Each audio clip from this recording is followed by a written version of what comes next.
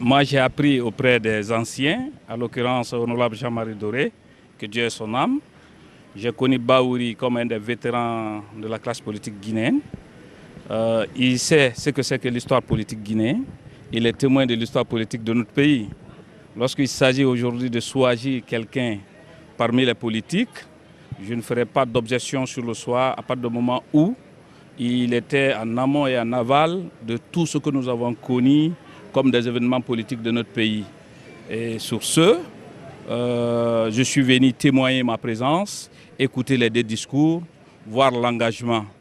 Euh, nous avons écouté euh, les deux premiers ministres, entrant et sortant.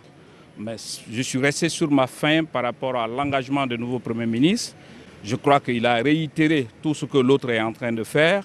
Mais dans son discours, je n'ai pas ressenti son engagement et ses ambitions. Mais je sais qu'il est prêt à continuer l'œuvre que l'autre avait commencée, qui est déjà une bonne.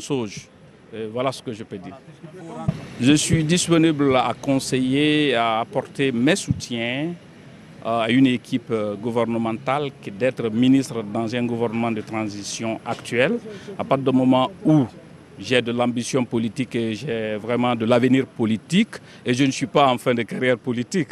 Donc, ce qui veut dire que moins de dix mois, nous devons rentrer dans les échéances électorales et j'ai confiance à ma base et je suis sûr que même si on organise une élection, demain je serai élu député et je vais continuer pour la suite. Donc euh, j'ai d'autres ambitions que ça, mais je suis prêt à apporter mes expertises en tant que quelqu'un qui a servi une transition en qualité de coordonnateur de la cellule d'action dans la même primature avec Jamari Doré. Lorsque un Premier ministre entrant prend la parole, un ministre ou un directeur de service, euh, traduit ses, ambitions devant l'auditeur, il dit son engagement et il est prêt à aller jusqu'au. Nous n'avons pas entendu ça quand même. Et moi, je suis resté sur ma faim par rapport à ça.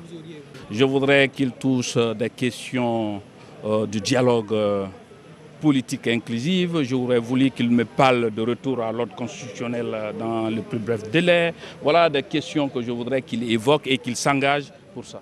C'est ce que je n'ai pas entendu.